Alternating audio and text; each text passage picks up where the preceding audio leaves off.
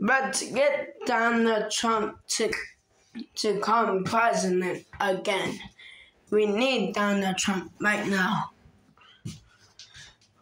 Hmm, Biden messed up a whole community.